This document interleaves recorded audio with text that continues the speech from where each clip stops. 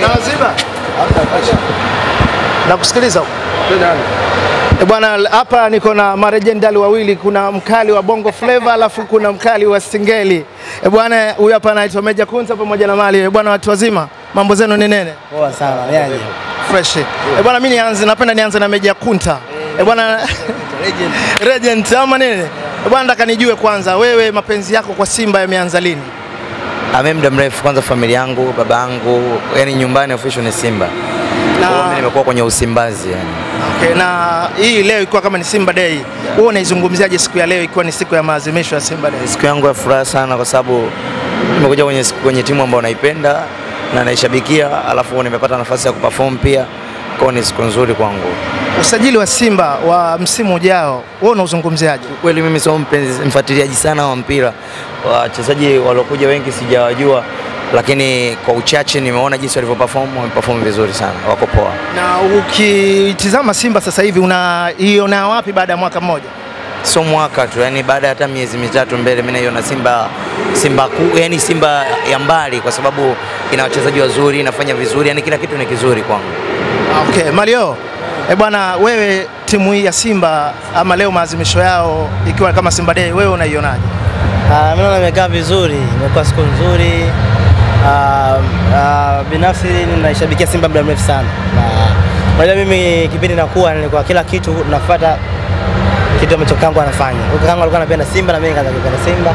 Mbalo nimekuwa shabiki damu wa Simba na nimefurahi kwa sababu ah, nimekuja nimekutana na watu tofauti na tumefanya vitu tofauti tofauti, tume- tume- tume- tume- tume- tumeleta burudani pia kwa mashabiki wa Simba, so ilikuwa siku nzuri sana. Usajili ambao umefanya Simba unazungumzaje? Ah, mimi naona amefanya vizuri japokuwa sifuatilii sana mambo ya usajili, na nimependa mpira lakini muda umekuwa mdogo, umekuwa mchache kwenye kufuatilia fuatilia vitu kama hivyo, lakini naona walivyotestiwa pale kwa sababu naamini wote wamecheza leo, wote wakali na na- na- naamini wanaita si utopolo, watapigwa nyingi sana kukutana nao raundi hii. na sasa hivi hatuzungumzii mambo ya utopolo kwa sababu nafikiri Simba hawajawaangalia sana wao, kwa sababu ya Simba ina level, kwa hiyo wameangalia. Chii, mbali. Mechi yenu ya mwisho mlicheza na Yanga mlipiga nne, leo hawa mliocheza nao mmewapiga tano. Yeah. Unaonaje idadi ya magoli kama kwa Simba wakienda kucheza mechi za Kiafrika? Nafikiri sasa hivi Simba ana mpinzani Afrika, labda ikutane na Barcelona tena na, na, na, na, na Juventus, labda kidogo watatetea changamoto, lakini kwa Afrika hii hana chapa, kila anakuja mbele anachapa.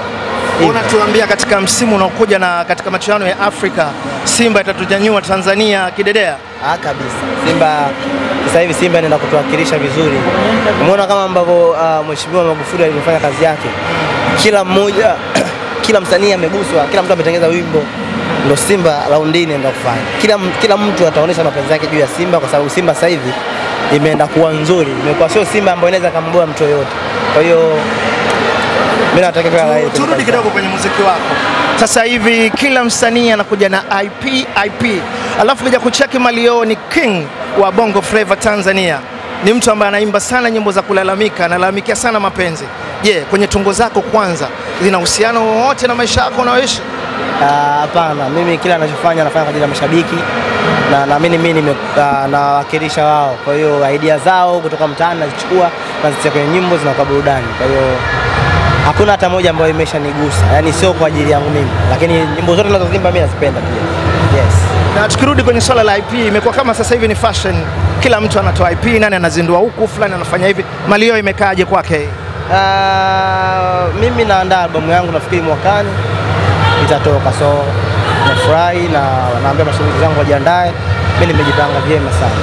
Kwa hiyo tutegemee mambo mazuri sana mwaka huu hapa kutoka kwa Malio. Yeah, yeah. Nafikiri mwaka huu hadi mwakani kuna vitu vipi nitavifanya kwa mimi binafsi, kwa sababu mwaka ujao albamu nitakuwa nitapiga albamu nyingine labda pia ya tatu. Kwa hiyo kwa mwakani naamini itakuwa albamu yangu ya kwanza, kwa kuna vitu vipya vingi naenda kuvifanya, so nashukuru kwa support yao, mimi nawapenda pia. Unawaambiaje mashabiki ama watani wenu wa jadi Yanga kwa msimu unaokuja, kwa vifaa nyinyi mlivyosajili na wao walivyosajili, unaziona wapi hizi timu mbili kwenye ushindani? Uh, mimi Yanga sitaki kuizungumzia kwa sababu sisi kama wana Simba au sisi kama wenye Simba yetu wenyewe hatushindani na wao tena, yaani sisi hatuko kwenye ushindani na wao tena, kwa sababu ni hatuwezi. tumetia goli nyingi raundi ile iliyopita, na usajili umeona ni mkubwa, kikosi kimekaa vizuri, yani kipo nganganga. Kwa hiyo sidhani kama mahesabu yetu sisi yamekaa kwa Yanga. Wananga mtanisamehe, mashabiki zangu wengine Yanga, lakini mtanisamehe sana.